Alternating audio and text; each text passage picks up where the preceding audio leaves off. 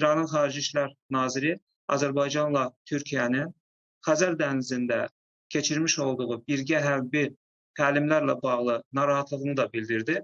O zaman Rusiyanın Xarici İşlər Naziri yaranmış vəziyyətdən öz mövqelərini ifadə etmək üçün də istifadə etdi. Belə ki, Lavrov İranın Xarici İşlər Nazirinə bildirdi ki, 2018-ci ildə Xəzər dənizinin hüquqi statusuna dair imzalanmış konvensiya İran tərəfindən ratifikasiya olunmuyub.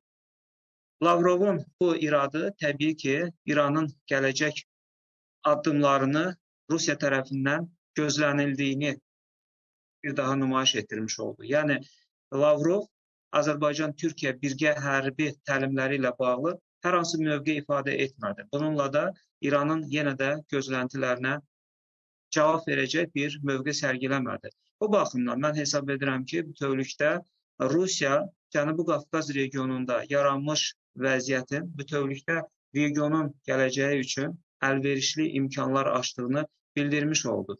Məsələn, İranın Xarici İşlər Naziri həmçinin regionda siyonizm və terrorizmlə bağlı İranın narahatlığını səsləndirmiş oldu yenə də Rusiyanın Xarici İşlər Naziri məsələnin üzərindən sükutla keçdi və İranın Xarici İşlər Naziri bildirdi ki, İran tərəfi bu məsələlərlə bağlı Rusiyadan həssas reaksiya gözləyir, amma Lavrov məsələyə hər hansı bir həssas reaksiya nümayiş etdirmədi.